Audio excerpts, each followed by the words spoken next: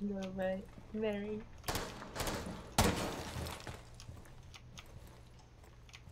Stronger the brain.